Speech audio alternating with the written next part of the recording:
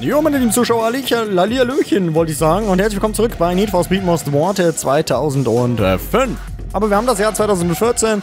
Ich bin also ein Spiel, das inzwischen schon ganze neun Jahre alt ist. Macht aber nichts, ist nämlich immer noch geil, macht immer noch Spaß. Und beim letzten Mal hatten wir ein kleines Techtelmechtel mit der Polizei. Eher unfreiwillig. Und jetzt soll es weitergehen. Uns fehlt noch ein Rennsieg. Und wenn wir den haben, dann geht es über in Meilensteine und Kopfgeld und vielleicht werden wir damit in diesem Part auch schon fertig mit allem drum und dran. Und dann können wir beim nächsten Mal uns um die gute Jules kümmern, die echt gar nicht so unsexy aussieht, muss ich sagen. Schon eine heiße Schnalle, die Süße. So, bei den Rennen haben wir zwei äh, K.O.-Rennen und ein Mautstellenrennen. Mautstelle hatten wir beim letzten Mal schon, deswegen würde ich sagen, machen wir jetzt ein K.O.-Rennen. Und zwar hier, ähm, welches ist länger? Eins war 15, das war 15. Fahren wir das lange mal, komm. Letzten Part habe ich darüber geredet, warum wir so schnell durchkommen, nämlich weil wir alle kurzen Rennen machen und auch nur die Rennen, die nötig sind. Und jetzt machen wir einfach mal ein bisschen länger. Jetzt fahren wir mal das lange Rennen. So, warum nicht?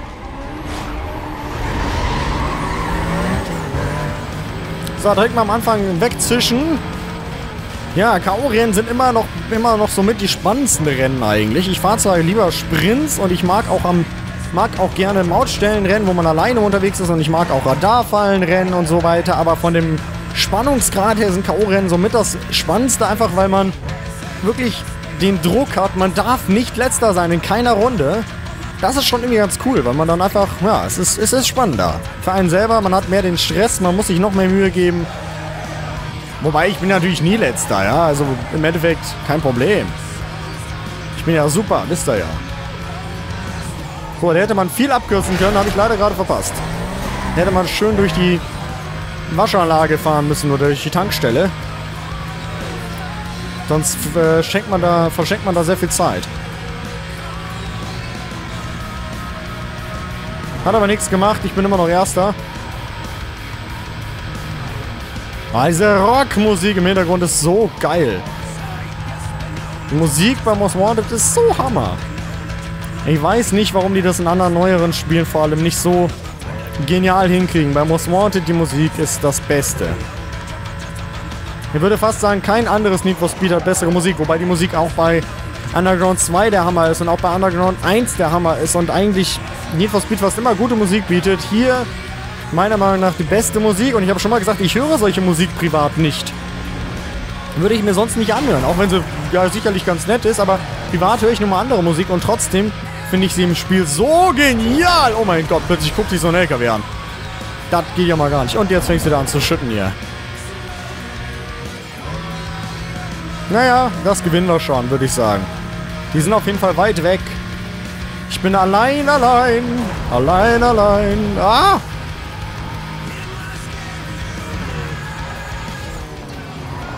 So, ein bisschen abgekürzt habe ich diesmal schon zumindest.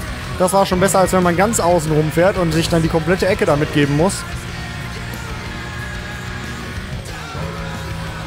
Und auch wenn immer mal wieder Leute gerne meckern, ich finde, bis hierhin bin ich immer super gefahren. Natürlich gibt es immer ab und zu Schwächen oder man verpasst mal Abkürzungen, die man nicht verpassen sollte, klar.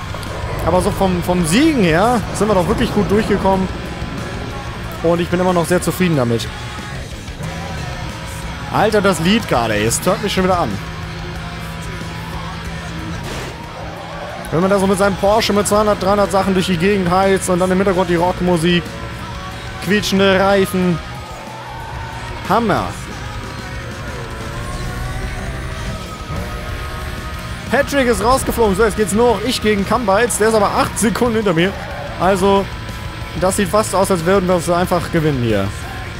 Der Porsche ist aber auch ein super Auto, muss man mal ganz klar sagen. Ich finde ihn echt heiß. Also hier im Spiel. Vielleicht macht aber auch der Spoiler so ein bisschen das aus, warum ich... Ich mag Porsche sonst nicht so, weil die immer diesen selben Arsch haben. Deswegen ist auch der einzige Porsche, den ich mag, der Carrera GT weil der so mit als einziger neuerer Porsche hinten eben nicht diesen typischen Porsche-Hintern hat, den ich so hässlich finde. Ich stehe einfach nicht darauf. Hinten diese Lampen und dann dieses abge, abgegoogelte wie so ein, also so abge, abgerundet hinten wie so ein sonst was. Am schlimmsten finde ich ja den Panamera, den finde ich ja richtig hässlich.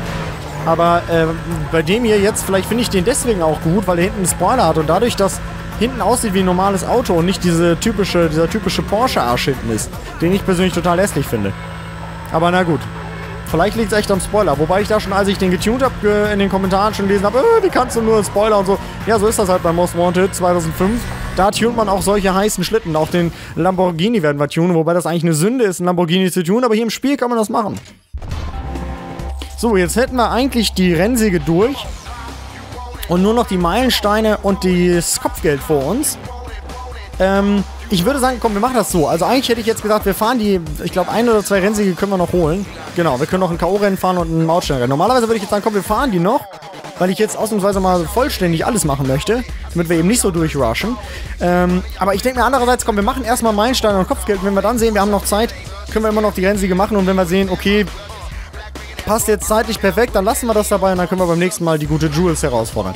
Also fangen wir an mit, achso, ich gehe mal vorher nochmal speichern, ist vielleicht ganz gut. Dann kann ich im Notfall nämlich Alte 4 drücken. Ha, ihr wisst ja. So, speichern wir. Ja, okay. Ähm, Blacklist. Und zwar würde ich gerne ein bisschen Kopfgeld sammeln. Danke.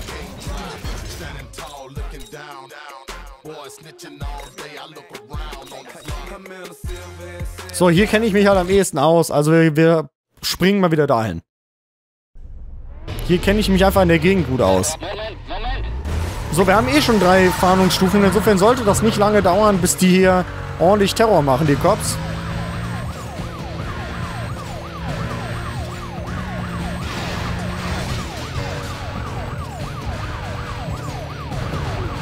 Und dank Fahndungsstufe 3 kriegen wir jetzt auch schon alle, ich glaube, 10 Sekunden oder so. Ähm, zwei, äh, 1000 Kopfgeld, also das ist schon ganz ordentlich.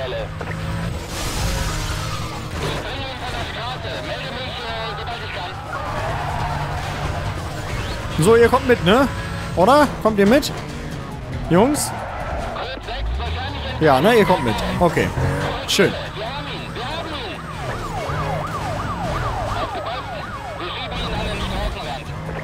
So ein bisschen rammen muss ich die auch. Wir brauchen ja auch noch Meilensteine. Und die kriegt man unter anderem durch Fahrzeugkontakt, durch Zerstören von welchen, durch Straßensperren, durch Fahren. Je nachdem, was gerade für Meilensteine so angesetzt sind. Zum Beispiel auch 6 Minuten Verfolgungsdauer äh, wäre jetzt auch ein Meilenstein. Ich denke, 6 Minuten werden wir schon brauchen, mindestens. Komm, dann nehmen wir mal hier den Holztransporter mit. Man darf sich natürlich auch nicht selber komplett äh, einklemmen, sonst hat man ein Problem.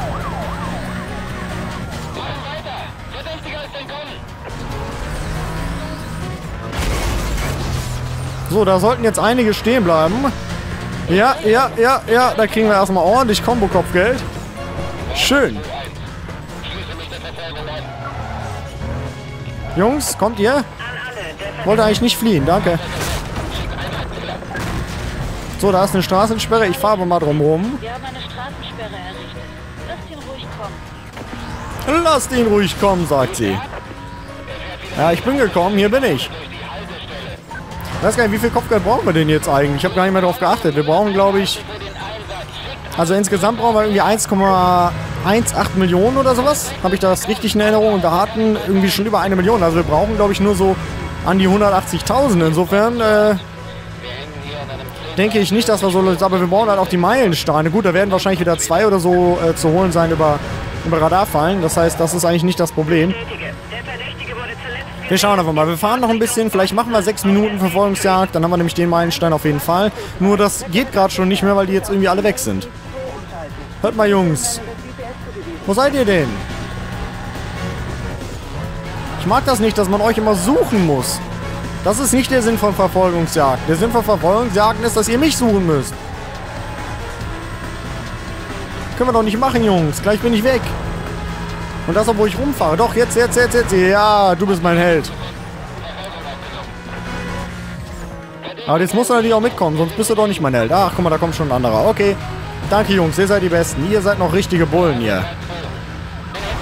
Die sich noch anstrengen. So, ich glaube, allein die Straßensperre bringt irgendwie auch 30.000 Kopfgeld oder sowas. Also, wir können wahrscheinlich bald schon wieder Schluss machen. Aber wir machen hier sechs Minuten, würde ich schon sagen. So, kommt ihr mit? Ja, ne? Okay. Dann nehme ich mir nämlich mal die Tankstelle mit. Da sollten eigentlich wieder einige... Ja, wunderbar. Okay, okay, okay. Wunderbar, danke.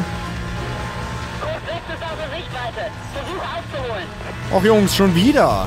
Hör mal, was ist denn los mit euch? Ich bin bald Fahndungsstufe 4. So ein bisschen anstrengen müsst ihr euch schon mal jetzt. Sonst wird das mit euch nichts mehr. Da kriegt ihr keine Beförderung.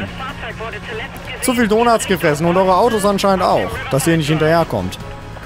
Irgendwas macht ihr doch falsch.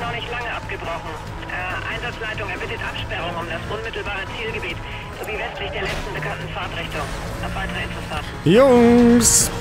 Ihr müsstet mich doch alleine aus 200 Metern hören wegen dem Motor. Verstanden, Zentrale. Sierra 1 macht sich mit Code 3 auf den Weg. Ah, das kann doch nicht sein hier.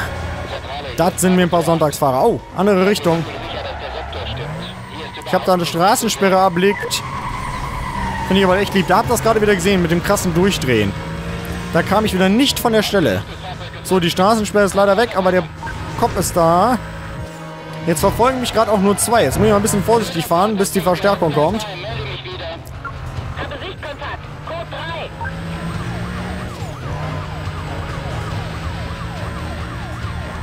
Aber einen Meilenstein haben wir anscheinend ja schon geholt. Schlage vor, wir ziehen uns zurück. So, zwei Verfolger habe ich nur. Ruft doch mal eure Kollegen an. Sagt denen, hey Jungs, hier gibt's Donuts und außerdem müssen wir noch so einen Typen verfolgen. Aber es gibt Donuts.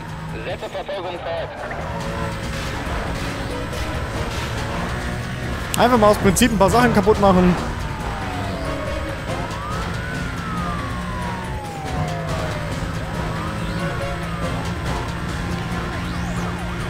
Zwei Stück noch. Für eine Minute.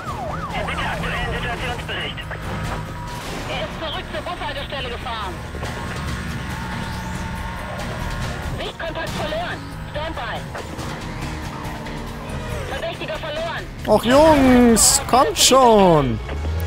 Ey, das kann man doch hoffentlich von euch erwarten, dass ihr so ein bisschen Eigeninitiative habt und noch mal ein bisschen euch anstrengt, oder? Ich meine, ist das zu viel verlangt von euch oder. Muss ich jetzt wieder absichtlich in Straßensperren fahren? Das Problem ist auch immer bei den Straßensperren, die bleiben stehen. Also die fahren einem nicht hinterher, die Cops, die dann in der Straßensperre sind, sondern die warten dann da. Siehst du, die kriege ich sogar gut geschrieben jetzt hier. Die eine Streife da. So, also die sechs Minuten sollten wir bald haben. Und dann können wir uns also davon machen. Naja, okay, wir sind jetzt bei 4 Minuten 20. 20. Haltet durch. Dadurch, dass ich immer mal wieder in der Flucht war, wurde das natürlich immer wieder auch abgebrochen.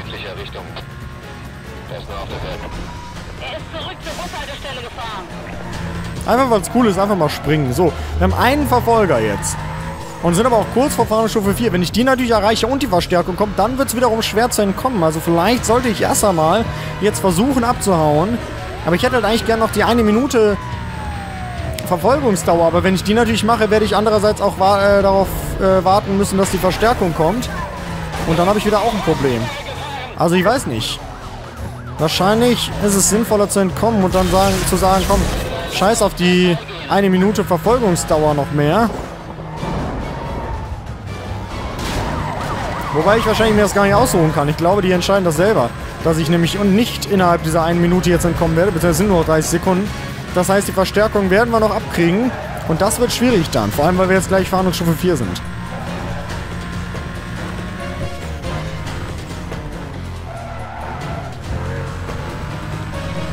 So, wenn ich den hier loswerde, in dem Ding, dann habe ich es gut, weil dann ist da nämlich, glaube ich, ein Versteck. Aber hat, der hat gar keine Lust, sich da, da rein zu begeben, ne? Die Verstärkung kommt aber jetzt. Fünf Sekunden, okay, das war's. Jetzt wird's richtig krass für uns. Jetzt haben wir nämlich 15 Verfolger. Und den Verfolgungsmeilenstein auch. Jetzt wird's krass, jetzt wird's schwierig. Alleine schon bei dem Regen, mein Wagen will nicht mehr richtig äh, auf der Straße haften. Oh, oh, oh, Leute. Das wird nicht leicht, da noch rauszukommen aus der Nummer. Das sage ich euch. Das wird nicht leicht. Jetzt mit 15 Verfolgern. Ich muss vorsichtig bleiben. Wir müssen welche loswerden. Ich muss dringend ähm, Verfolgungsstopper finden. Vom Kopfgeld haben wir wahrscheinlich längst genug. Wir haben auch die Meilensteine bestimmt schon. Aber jetzt geht es eher darum, überhaupt hier aus der Nummer rauszukommen. Und jetzt sind wir nämlich Fahndungsstufe 4 und haben die Verstärkung am Hintern. Oh, oh, oh, und jetzt kommen Helikopter. Jetzt wird's kritisch, Leute. Jetzt wird's kritisch. Ich sehe es schon darauf hinauslaufen, dass wir erwischt werden. Und dann, ja, aber da kann ich auch nichts machen. Nagelbänder. Jetzt hauen sie hier das komplette, die komplette Montur. Nagelbänder, Helis, solche schwarzen Sicherheitseinheiten. Und ich glaube, das war's. Jo, das war's. Da konnte ich nichts mehr machen. Ich wurde schwer äh, quergestellt. Dann bist du raus. Keine Chance mehr, irgendwas zu machen. Ähm, ist natürlich auch wieder ärgerlich jetzt. Ich habe es aber hier aber gesagt, als dann die Verstärkung und die Fahndungsstufe, St- Fahndungsstufenerhöhung kamen, habe ich fast schon geahnt, dass wir da nicht gut rauskommen aus der Nummer. Mit dem Regen zusammen noch. Haben wir noch ein Symbol oder? Ja, haben wir noch. Okay, dann bezahlen wir mit dem Symbol. So, der hat also Fahndungsstufe 4. Das ist halt ein bisschen, ein bisschen krass, ne? Ähm, deswegen würde ich sagen, wir müssten den eigentlich mal so ein bisschen bisschen anpassen. Oder wir nehmen zur Verfolgung einfach mal einen anderen Wagen. Können auch den natürlich nehmen, aber das ist eigentlich ist er ja gut gemacht dafür, ne? Der hat ja eigentlich das, der hat ja eigentlich die, also Fahndungsstufe 4 hat ja auch einen Vorteil, aber ich glaube eher, dass wir den nehmen, mit dem mal kurz die Fahndungsstufe auf 3 machen. Wieder, also auf, ne, so ein bisschen auf 2, 3. Weil 4 ist schon krass, also wir werden später 4 oder 5 E haben, ja, ist normal, aber jetzt ist mir das noch ein bisschen krass dafür, dass wir nur 100.000 Kopfgeld brauchen, da will ich mir das mit Helis und allem und Nagelbändern noch nicht antun. Also machen wir das mal so, dass wir da ein bisschen was dran machen.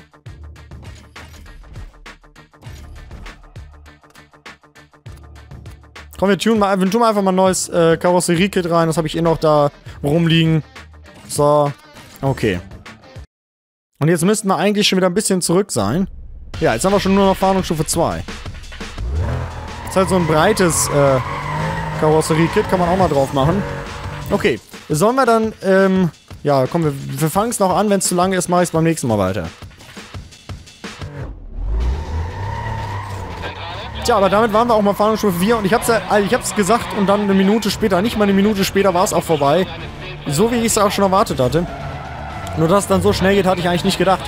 Nur, ja, es gibt halt Situationen, okay, da bringt man sich selber in eine scheiß Lage oder man schafft es nicht mehr rauszukommen, aber wenn es natürlich dann so ist wie eben, dass man quer steht, also wenn die Reifen nicht mehr auf dem Boden sind, kannst du nichts mehr machen.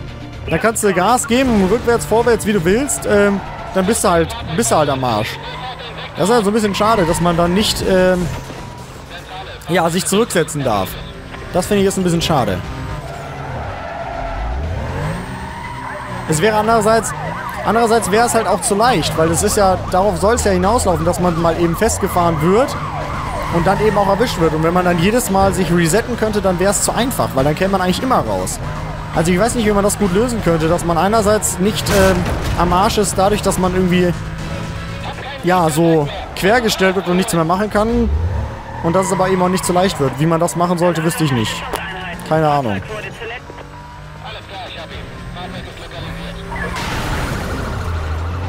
So, den machen wir mal kaputt.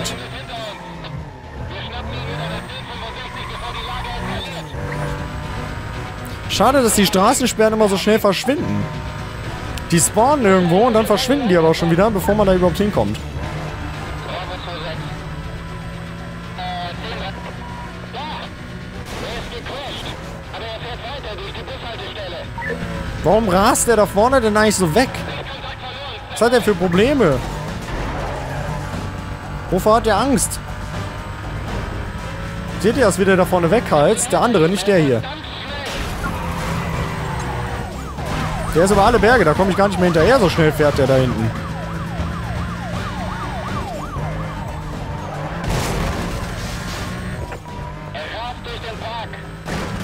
Jo, ich bin im Park, Jungs. Ich chill mal ein bisschen hier.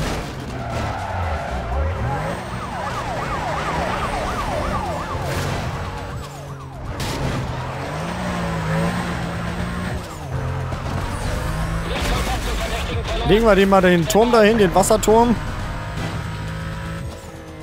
Vielleicht machen wir diesmal die Verfolgungsjagd ein bisschen kürzer. Einheiten auf dem Weg zur Q3 Ich glaube aber nicht, dass wir es in diesem Part noch fertig kriegen, sodass wir beim nächsten Mal dann noch ein bisschen da weitermachen müssen, bevor wir die gute ähm, Jules herausfordern können. Aber das macht ja nichts. Ging ja immer so schnell. Das ist ja ganz gut, wenn auch mal dann noch nicht der nächste Blacklist-Fahrer schon wieder bereit ist, sondern wir erstmal noch irgendwie ein, zwei Parts fahren müssen. Ist ja gar nicht so schlecht.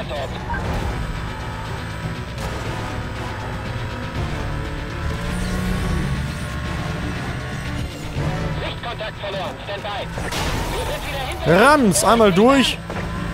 Durch die Straßensperre, alles kaputt machen. Weißt du, und jetzt sagt er, sie haben eine Straßensperre errichtet, nachdem ich schon längst durchgebrochen bin. Die sind so top aktuell immer, die Infos.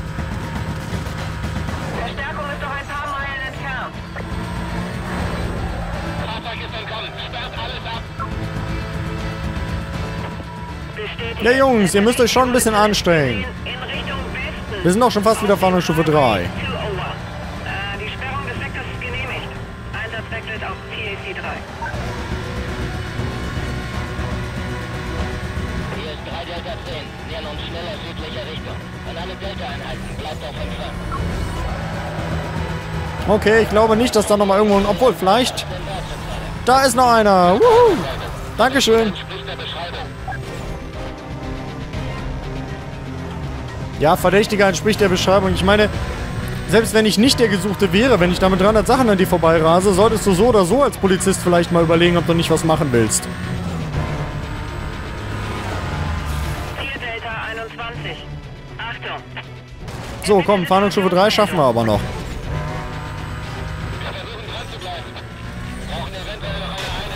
Bams! Oh, ich finde das immer schön, wie man diese leichten Straßensperren einfach weggerammt kriegt.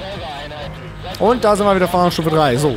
Die ist mir eigentlich am liebsten, weil da wird es richtig knifflig, du kriegst gut Kopfgeld, aber es ist noch nicht so krass, dass die mit Hedis und Nagelbändern kommen. Und das ist dann, dann wird es nämlich krass, wenn Hedis und Nagelbänder kommen. Weil die machen einem dann wirklich Probleme. Vorbeigerannt.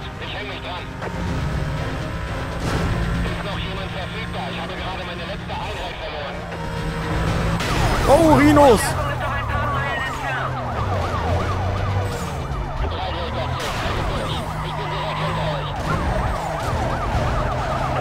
Alter, die gehen immer so ran. Die Rhinos gehen immer so dran. Die sind echt hart. Da muss man echt aufpassen mit denen. Mit denen darf man sich nicht anlegen.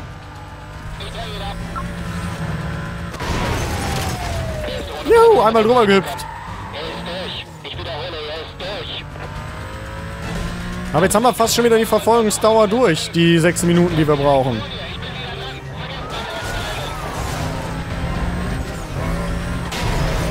So, immer schön durch die Straßen sperren. Das bringt gut äh, Kopfgeld. Und jetzt sollte ich aber langsam mal schauen, auch weil der Part jetzt so lang wird, dass ich mich hier mal davon mache. Und äh, wir dann das Kopfgeld auch sammeln können, ohne dass wir wieder erwischt werden. Und vor allem ich dann auch den Part mal beenden kann. Also es geht das nämlich wirklich noch in den nächsten Part mit rein. So, ist da irgendwas? Nö, keine Nagelbänder und nichts, dann einfach ab durch die Mitte. Der Fahrer ist direkt durch die Sperre gebrettert. So, jetzt der Fahrer ist direkt durch die Sperre gebrettert. Sie klang ja voll auf Droge. Jetzt sollten wir es eigentlich mal hier beenden können.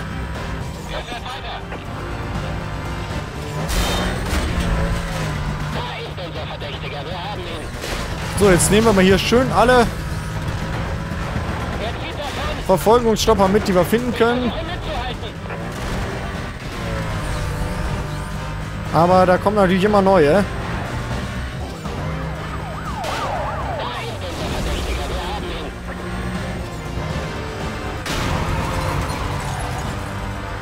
Naja, also gut, viele sind es nicht mehr. Wir haben noch einen hinter mir. Und äh, eine Minute 30 sind, haben wir noch, um zu entkommen.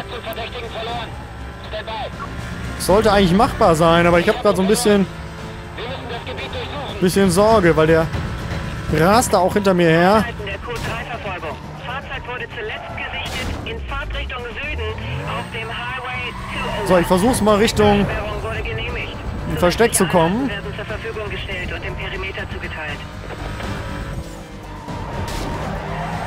Es könnte fast sein, dass wir jetzt hier entkommen. Bravo 28. Nähern uns Code 6 von Nordwest. Ich glaube ja. Jetzt ist, jetzt ist eher die Frage, ob es gereicht hat. Also eben hätte es gereicht. Frage ist, ob es jetzt auch gereicht, äh, gereicht hat. Beim ersten Versuch hätte es gereicht, beim zweiten weiß ich es nicht. Die Straßensperren müssten halt gut Kopfgeld geben eigentlich. Ja, 46.000 obendrauf. Es kann aber sein, nee, es reicht nicht. 84.000 reichen nicht. Bin ich mir relativ sicher. Mal schauen. Wir haben 1, ja, ungefähr 1,1 Millionen und wir brauchen noch ungefähr 80.000 Kopfgeld. Also es ist natürlich schade, dass ich einmal erwischt wurde, wurde, aber so ist das Spiel. Man wird halt auch mal erwischt. Beim nächsten Mal machen wir dann also noch die...